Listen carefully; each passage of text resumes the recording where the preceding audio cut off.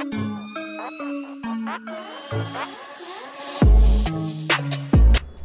Hey guys I welcome back to my YouTube channel कैसे हो आप लोग? दो दिन से मैं वीडियो डाल नहीं पाया था बट अब मैं कंटिन्यू डाला करूँगा। और इस वीडियो में मैं बात करने वाला हूँ आपसे बैक के वर्कआउट के बारे में। आई नो सब लोगों को पता है कि बैक का वर्कआउट कैसे करा जाता है, आजकल सभी प्रोफेशनल हैं। बट फिर भी मैं कुछ ऐसी टिप्स देना चाहूँगा जिससे आपकी बैक में बहुत अच्छा पंप आएगा। मैंने आजकल के बिगेनर्स को देखा है कि वो वर्कआउट करते हैं, लेकिन फोकस नहीं करते वार्म अप पे या चिनअप्स पे या पुशअप्स पे। वो सिर्फ़ बेसिक एक्सरसाइजेज हैं।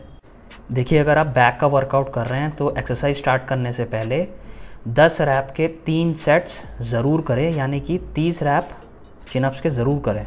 जितना ज़्यादा आप वाइड पकड़ेंगे, उतना अच्छा आपके बैक पे रिज़ल्ट मिलेगा। और कोशिश करें कि पूरा रेंज ऑफ़ मोशन हो, आधा अधूरा नहीं। चिनअप्स करने के बाद आप केबल पुल डाउन से अपना वर्कआउट स्टार्ट कर सकते हो। ज़्यादातर लोग ये एक्सरसाइज करते समय अपनी बैक की पोजीशन हमेशा ख़राब करते हैं। उनकी बैक स्ट्रेट ना होके हमेशा बैंडेड होती है।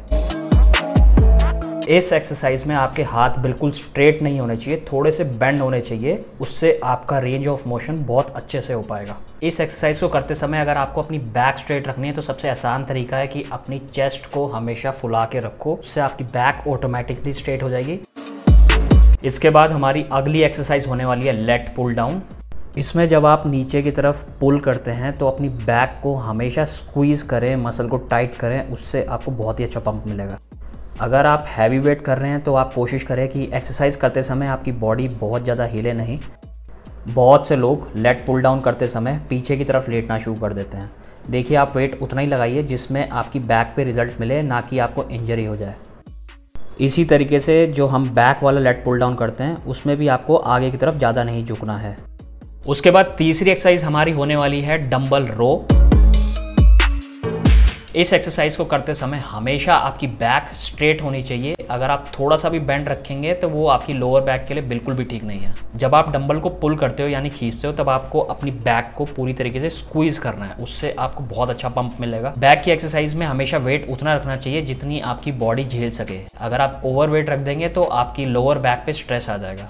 फ़िलहाल मैं वेट लूज पे चल रहा हूँ सो मैं तीन से चार एक्सरसाइज ही करता हूँ और उसमें मेरे को बहुत अच्छा पंप आ जाता है। अगर आप सिर्फ़ चार एक्सरसाइज भी करते हो ना और हैवी वेट नहीं करते हो, लेकिन आपका पोस्चर सही है तो तब भी आपको बहुत अच्छा रिज़ल्ट मिलेगा। आई होप आप लोगों को मेरी वीडियो अच्छी लगी हो। मैंने अपना इंस्टाग्राम और स्नैपचैट की आईडी मेंशन कर दी है। अगर आपको कोई सजेशन देना हो तो आप मेरे को मैसेज कर सकते हो। मेरा एक यूट्यूब चैनल और है यश धवन के नाम से। मैंने लिंक उसका मैंशन कर दिया है डिस्क्रिप्शन में। उस चैनल पर मैं शॉर्ट्स वगैरह डालता हूँ तो आप वो भी देख सकते हो। मेरे को सपोर्ट करने के लिए दोनों चैनल्स को सब्सक्राइब कर देना।